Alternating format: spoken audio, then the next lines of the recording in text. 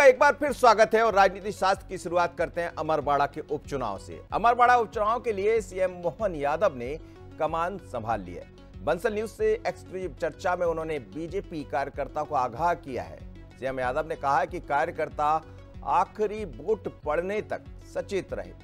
कांग्रेस कुछ भी कर सकती है। एन कैन प्रकार कुछ भी कर सकती है। कांग्रेस अमरवाड़ा उपचुनाव को लेकर सीएम मोहन यादव से बात की हमारे महाकौशल के ब्यूरो निशांत बिशेल इस वक्त अमरवाड़ा में मेरे साथ मौजूद हैं मध्य प्रदेश के मुख्यमंत्री डॉक्टर मोहन यादव जी, जो यहाँ अमरवाड़ा में स्थानीय अपने जो संगठन के पदाधिकारी हैं, उनके परिवार के बीच पहुँचे हैं ब्रेकफास्ट के लिए, भेंट के लिए।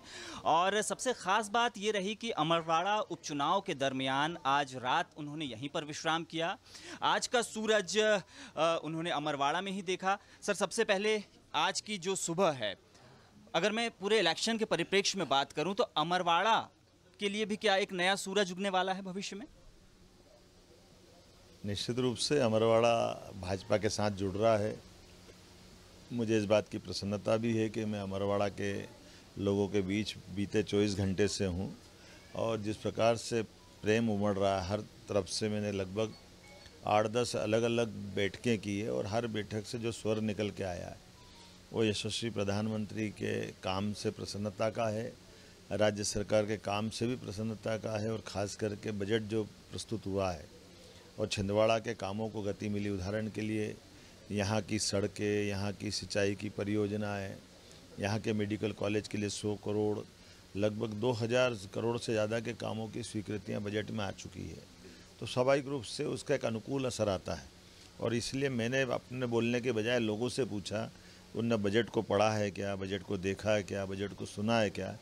सबने अपनी अपनी प्रतिक्रिया बहुत अच्छे से दी। कोई ने चिकित्सा की, तारीफ़ की, किसी ने कृषि पे बात निकाली, किसी ने अलग अलग प्रकार के कामों के बारे में जो रिएक्शन आई है, वो रिएक्शन सकारात्मक है। इस आधार में कह सकता हूँ कि निश्चित रूप से अमरवाड़ा हम एक भारी बहुमत के साथ जीतने जा रहे हैं। लेकिन मैंने अपने कार्यकर्ताओं को सतर्क किया है कि जब तक चुनाव में आखिरी वोट नहीं पड़ जाए, तब तक हमको शांति से नहीं बैठना है। वो अपना कोशिश करेगी कि वो येन केन प्रकार उनका अपना बचाव करे, लेकिन जनता का अगर ढंग से वो डलवा लेंगे तो मैं समझता हूँ कि अभी तक के सारे रिकॉर्ड हम तोड़ेंगे। कल आप बैक टू बैक बैठकें कर रहे थे विभिन्न सामाजिक संगठनों के साथ, व्यापारिक संगठनों के साथ। आज भी आपके लगातार प्रोग्राम शेड्यूल हैं। आपको किस तरीके का रिस्पांस मिल रहा है? आप क्या फील कर पाए, क्या गंध कर पाए कि ऐसा लगा कि अमरवाड़ा क्या सोचता है? और आप दिशा, जिस दिशा में सोच रहे हैं, क्या उसी दिशा में सारी चीज़ें जाती दिख रही हैं? मैंने बताया ना बजट की रिएक्शन ही बता रही है अपने आप में कि वो जनता ने तय कर लिया है कि यहाँ का अब अगला विधायक कौन होगा? वो भाजपा का होगा, ये दिखाई दे रहा है। अंतिम सवाल लूँगा, सर।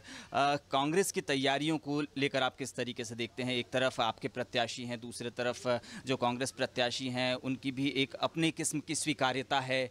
और जैसा कि आपने ज़िक्र भी किया कि कांग्रेस चोट खाई हुई है तो फूंक फूंक कर कदम रख रही है। तो माइक्रो मैनेजमेंट के लिए जो टिप्स होनी चाहिए, वो क्या देंगे? क्योंकि एक बड़ी कामयाबी आपने लोकसभा चुनाव में हासिल की है तो अब उसके बाद चैलेंज खुद के ही सामने, खुद के लिए है।